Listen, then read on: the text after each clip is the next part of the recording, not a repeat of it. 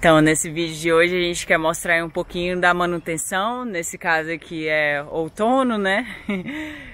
Então, enquanto o Fred continua ali juntando as folhas, eu vou lá dentro fazer um café da manhã bem tradicional, vocês vão ver.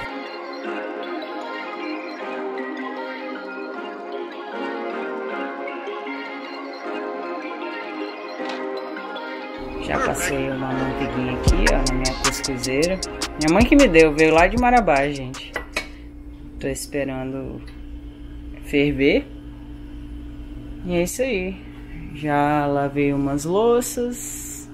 Enquanto eu espero ali cuscuz ficar pronto, né? A água ainda tem que ferver mais um pouquinho. É, eu vou cortar umas frutas, a gente sempre gosta de ter fruta por aqui.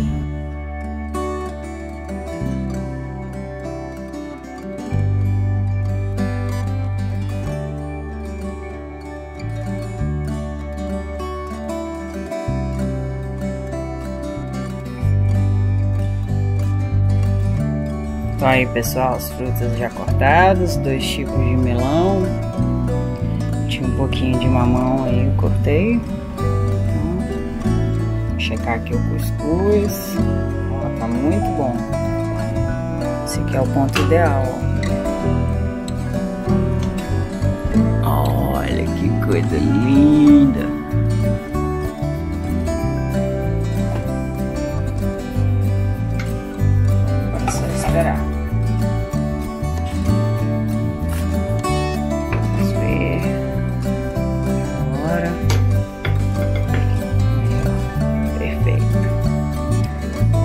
Quem virou paraense já.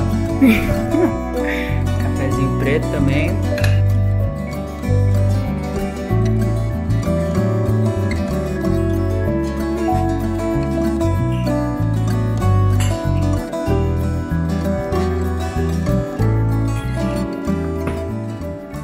Ó, máquina de lavar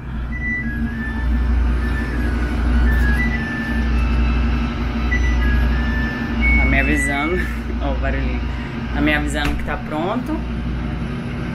Então, na verdade foi a máquina de secar aqui, vou mostrar pra vocês. Então é a máquina de secar, avisou que já tá pronto. Então o que eu faço, bem simples. Tiro daqui. Tirei as roupas sempre tem que limpar isso aqui, tá, gente? Joga essa coisinha fora. E já tá pronto pra próxima. Algumas roupas eu não gosto de secar na, na máquina. Porque pode encolher. Principalmente, gente, se for roupa lá do Brasil. Você chegou agora aqui nos Estados Unidos, não seca suas roupas do Brasil na máquina de secar. Tá? Porque vai encolher. Por experiência própria. Ó. A outra máquina ficou pronta. Já vou colocar aqui. Vou colocar aqui já pra secar. Eu gosto de separar as roupas brancas. Fred gosta muito de usar a blusa branca. Então eu separo as coloridas.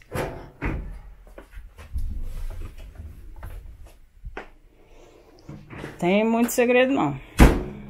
Vem aqui. Liga. Tem normal, mais seco, bem seco, né? Mas eu gosto de colocar no, no tempo aqui, geralmente.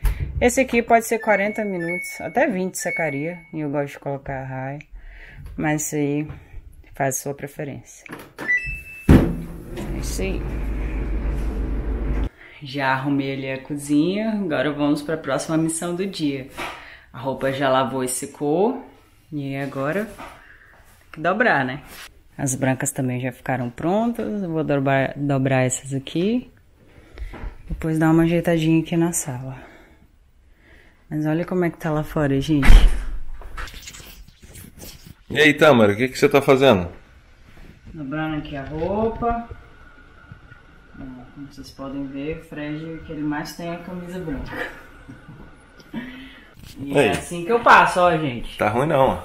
Tá ótimo. E quanto mais cedo você tirar, tipo assim, você dobrar logo depois que já saiu da máquina de secar. Fica de boa, mas aqui a gente não passa roupa não. Tem, sei lá, desde quando... Nem desde sei quando desde foi. sempre. É, desde sempre. Nunca passei roupa não. Mas terminar de dobrar aqui, eu já tinha lavado as toalhas e tal. E agora esse aqui é só terminar de dobrar e guardar. Então, pessoal, tudo arrumadinho. Dobrei, guardei a roupa. Olha só a visão aqui do nosso quarto. Os passarinhos. É muito gostoso, gente. Eu acho que eu nem mostrei pra vocês como é que ficou esse quarto. Esse aqui é aquele terceiro quarto. A gente não fez nada com ele, mas é aqui que a gente colocou a mesa. Então, esse daqui é o meu laptop, o laptop do Fred. Então, quando a gente quer trabalhar aqui em casa, a gente fica aqui.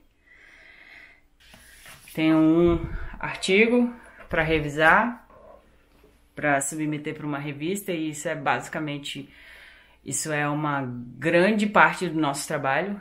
É fazer, quando você faz pesquisa, você coleta dados, analisa os dados, depois você escreve artigo e publica.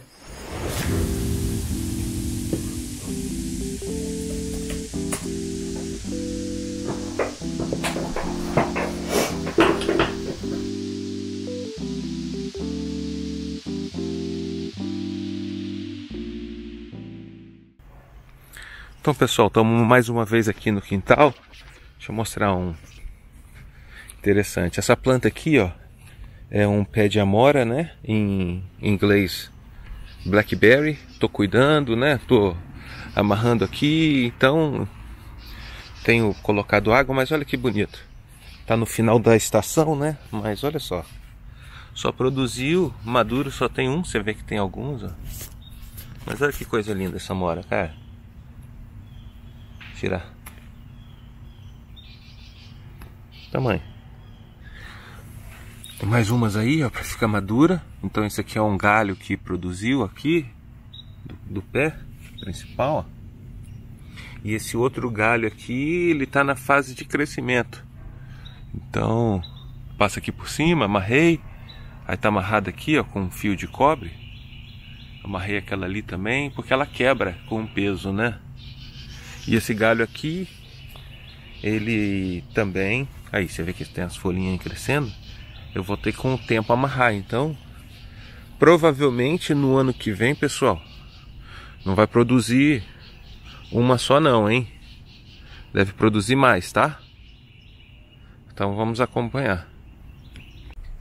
Ah, mas já gosta, né? Quem ama, cuida. É, o nosso tuk-tuk tá com a gente. Tem que, que dar uma cuidada. Nunca mais deu carinho pra ele. Gente, pense num carrinho que trabalhou, coitado. Aquele ali também, trouxe bastante coisa. Ficando bonito, hein, pessoal? Tava uma sujeira. Então, pessoal, continuando nosso dia aqui, já chegou a hora do almoço. Vou mostrar aqui o nosso almoço. Espero que o Fred aprove. Olha lá, o que, que tem aí, Fred? Cara, tem esse aqui, esse brócolis aqui no alho, que é a coisa de doido que a Tamara fez, hein? Uhum. Se vocês quiserem, eu posso ensinar pra vocês. É super fácil, gente. É uma delícia. Então tem brócolis, aspargos. Essa maionese foi o Fred que fez. E uma linguiça. Tá aprovado, Frederico? Esse aqui é o melhor. Brócolis, né? Então tá, agora a gente vai degustar nosso almoço. Escuta os passarinhos, gente.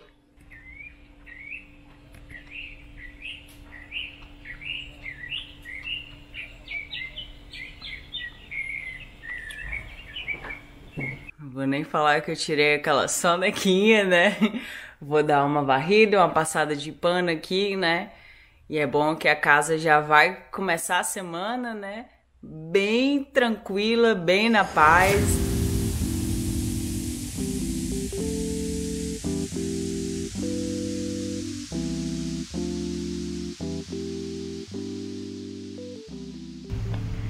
Então, pessoal, vou levar vocês no levar vocês pra ver a vizinhança rapidinho, porque a gente acabou que nunca mostrou, né? antes que escureça. Então é uma vizinhança bem tranquila, né? Bem igual qualquer maioria das cidades nos Estados Unidos. E logo ali já é o parquinho. Então aqui esse é o final da nossa rua, ó. Eu vim de lá. E aqui, final da nossa rua é esse parque. E tem um monte de coisa aqui nesse parque, ó. Então aqui é o beisebol. Já dá pra ouvir a criançada, ó. Essa hora são 5h35. É a hora que os pais começam a trazer os filhos para brincar. E é aqui que eu gosto de fazer minha caminhada também. Lá é outro campo de beisebol. Aqui, ó. Tem duas quadras de tênis aqui. Atrás tem a quadra de basquete. Aqui, ó, tem. É, mas essa quadra de tênis, aquela lá é menor, como se fosse pra badminton.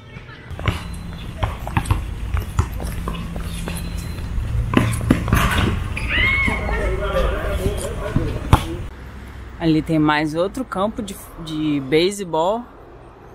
Então são três, né? Um, dois, três. Lá é onde eu tava. E que já é o finalzinho do parque. Então você já vem aqui, já vem aqui para uma rua mais movimentada. Logo ali na frente, vou mostrar para vocês. Tá, era isso aqui que eu queria mostrar para vocês. Esse lugar aqui, ó, é cheio de campo de futebol. Nosso futebol mesmo. Olha lá. Vai até lá. A galera vem aqui jogar. Ó, tem mais lá.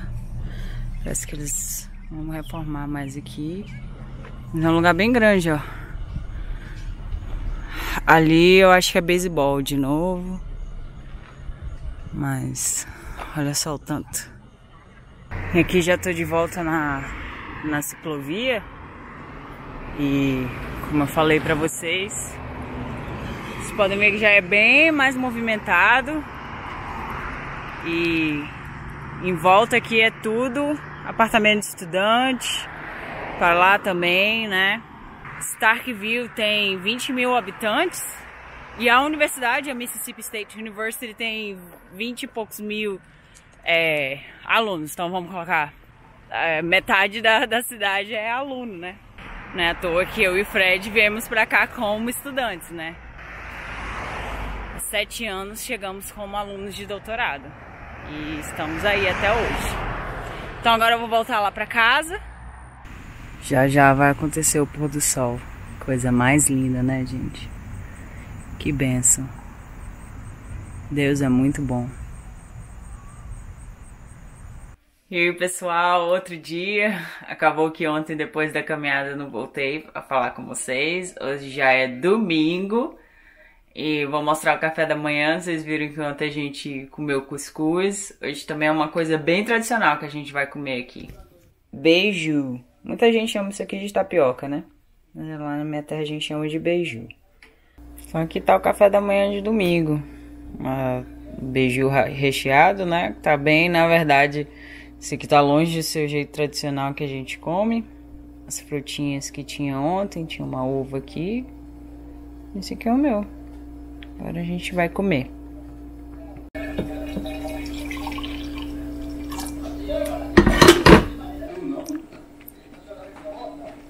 Bottas vai passar o Leclerc.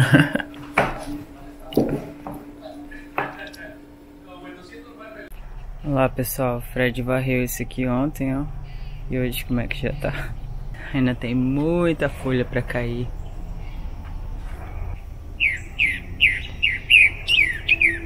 Então, domingão merece ir num restaurante mexicano, né, Fred? Acabamos de chegar da igreja, agora vamos, vamos rangar. Lá. Isso é muito gostoso, gente. Salsa, tortilha. Isso aí.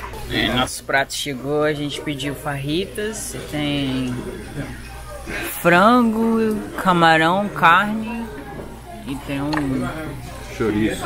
chouriço, arroz, feijão, salada, guacamole e esse aqui é sour cream, tortilha.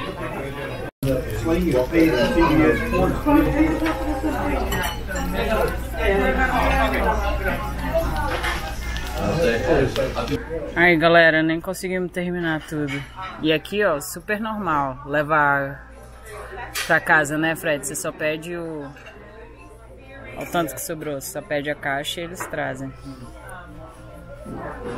A gente tem que lembrar que a gente mora no Mississippi, o Mississippi é bem tradicional religioso. E dia de domingo é dia de ir na igreja, e a maioria das pessoas vão na igreja, e depois quando sai da igreja procura um restaurante da cidade para almoçar. Quando a gente foi pagar a conta, a conta já estava paga por alguém. O garçom não pode falar quem pagou a conta. É a primeira vez que acontece com a gente. Já aconteceu o pedágio uma vez. O carro da frente pagou o pedágio pra gente. Era na época próxima de Natal. Mas hoje foi uma grande surpresa. Alguma família pagou o meu almoço, o almoço da Câmara. E a gente nem conhece quem é. não tem como Nem sabe quem é. Mas foi uma boa ação, né?